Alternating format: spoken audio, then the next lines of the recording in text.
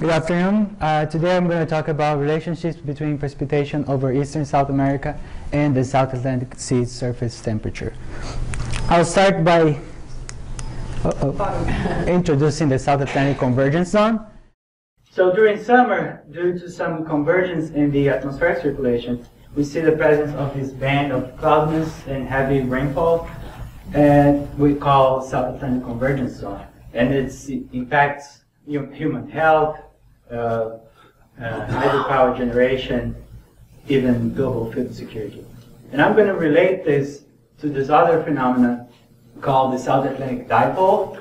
It's a couple phenomenon, meaning that the atmosphere and the ocean interact. And it starts with an intensification of the circulation in the atmosphere that generates a dipole in the sea surface temperature. And we observe that this, this phenomenon is related to the increase of precipitation over eastern South America. In the opposite phase, uh, the circulation in the atmosphere weakens, and we see the opposite current in the in the sea surface temperature associated with uh, dry conditions. So, for my PhD, I, I wanted to understand what are the mechanisms in this relationship.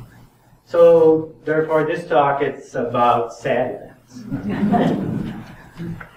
I use a, a multivariate analysis called singular value decomposition to characterize this set. Uh, and I use sea surface temperature to uh, as a measurement of the ocean and sea level pressure as a measurement of the atmosphere. And you see the analysis gives me a dipole for the ocean and a monopole for the sea level pressure. And it also gives me an index, a time index, where I could select events when the SAD is strongly positive or strongly negative.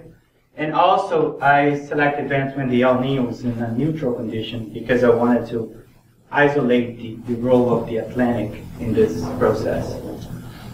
So here I present some averages. Um, in the top we see precipitation anomalies for, for, for both phases. In the middle here we have uh, the formation of low pressure systems and in the bottom is the path of these low pressure systems.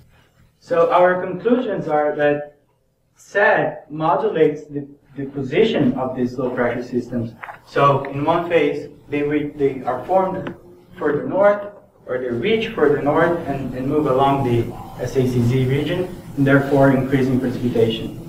In the other phase, they are much more confined to lower, uh, higher latitudes, so they don't bring as much precipitation. Thank you.